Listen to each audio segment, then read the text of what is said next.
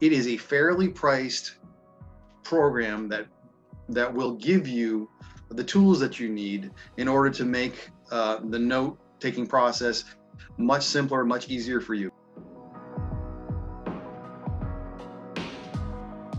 Dr. James Fernandes, I, I live and work in uh, Florida. I'm in Eustis, Florida. I work as a manager for an owner of a uh, multidisciplinary practice. So before Phrase, PhraseExpander, the, the, the, program that we have is very complex. It's got a lot of features to it. Some of the features uh, kind of get buried. Some of the, the things that we normally would do uh, would require that we click all over the place in order to make that happen. And so it was quite difficult to, to get um, a note out in a timely fashion when you didn't have something to back you up. Um, and now it, it, the manufacturers of these programs tend to be uh, pretty good at putting together something that they're required to put together. So there's a lot of regulations that you have to meet. And but unfortunately, those regulations require you to change the way that you put the program together, and it makes it very difficult for the end user to do it quickly.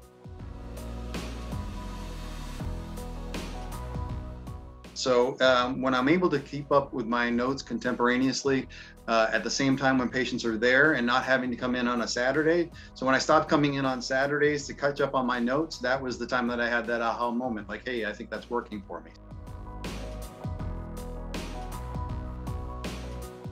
I would say probably the networkability of it. So you can set it up in your office, and I've got it set up on a small server in a room, uh, and then the entire office can all contribute and use the one database that you that you've set up or that you've that you've contributed to. I've got it set up so well that the, the, staff member can actually lead through those things with the most common responses that are there. And if not, they can add it in by typing it in. I come back in afterwards and I refer back to what they've already put there. I change a few things if I need to, but the but the bulk of it, the meat of it is there already.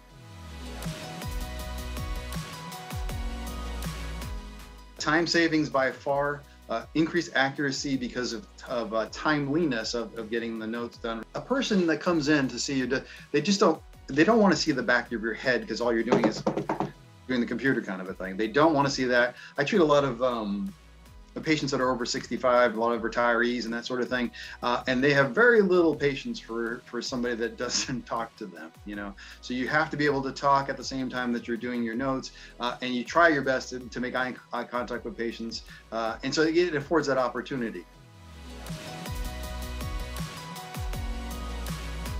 Yes, and I would recommend it because we all work in different ways. And, and so it, it allows you that uh, ability to, to customize it without having a PhD in customization.